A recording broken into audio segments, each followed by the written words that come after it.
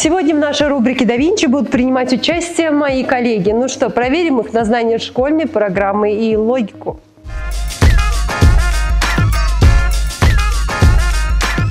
Какой орган человека начинает функционировать только после его рождения? Печень, желудок, сердце или легкие? Легкие, наверное. Легкие. Легкие.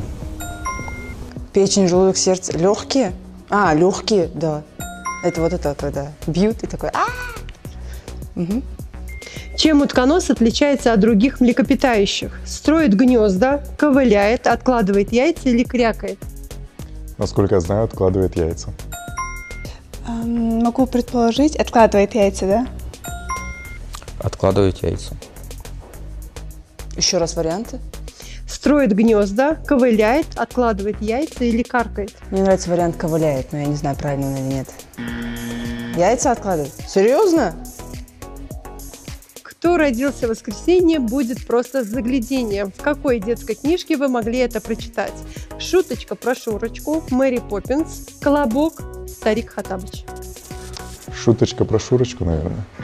Старик Хатабыч. Мэри Поппинс. А если мне не изменяет а, память, Мэри Поппинс. Так, еще раз варианты. Шуточка про Шурочку, Мэри Поппинс, Колобок или Старик Хатабыч. Мэри Поппинс.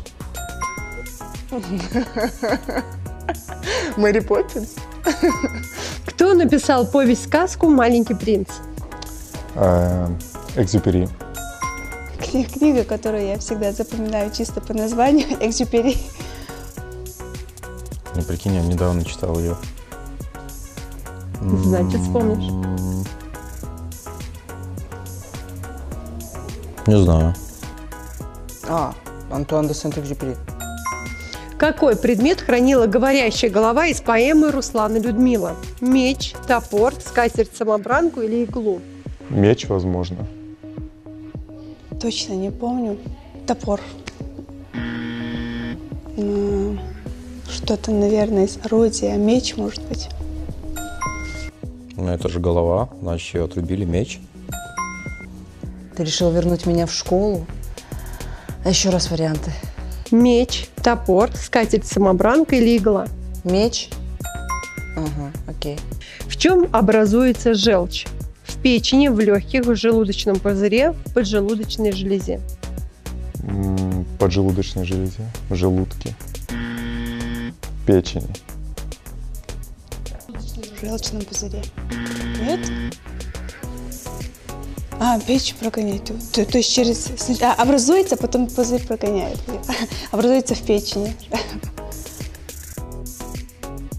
Ну, элемент, ну, желчный пузырь.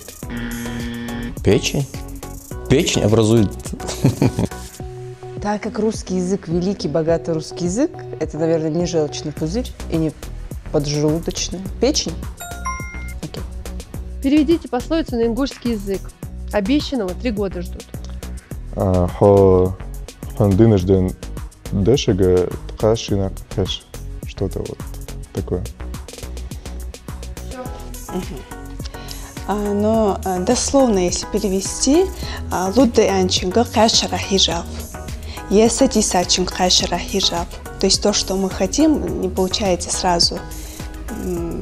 То есть мы не желаемое не сразу получается, нежелаемое не сразу достается. Вот с таким смыслом лудды анчинга есади сачин кашара хижаб. А, сомнение насчет первого слова, но давайте будет сатиса чинга кашрахеш. И последний вопрос. Переведите пословицу на ингушский язык. Обещанного три года ждут. Хэшгло. Вот так?